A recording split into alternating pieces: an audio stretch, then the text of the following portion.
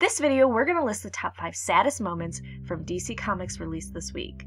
Number 5, Convergence Batman and Robin number 1. Poor Damian. He feels so left out when Jason shows back up, and Batman just accepts him, even though it's literally for like a minute. While I hate the spoiled bratty Damian act, his and Jason's dynamic has always been a bit sad. And Damian gets a lot of hate, that poor kid.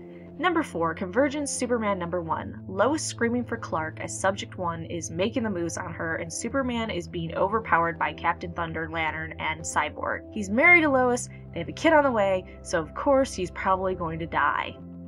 Damn it. Number 3, Convergence Nightwing Oracle number 1. Freeze giving up. I don't know why, that just hit me. You see Freeze first in Batman and Robin saying, you know what, I'm not even interested anymore, what's the point? But then in this one, he's like, eh, I give up.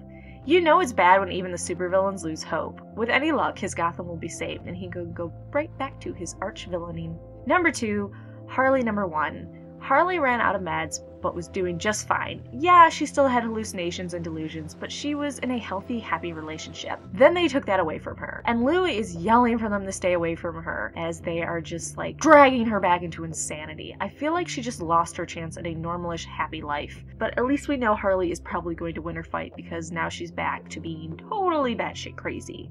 And then number one, Convergence number one, we see that only some of the heroes on Earth 2 made it, not the rest of the population not a city, and not the extra people that couldn't get off Earth 2. So besides the people Alan could save, a lot of people just died on Earth 2. That is a huge freaking bummer. So those were my top 5 saddest moments from DC Comics released this week.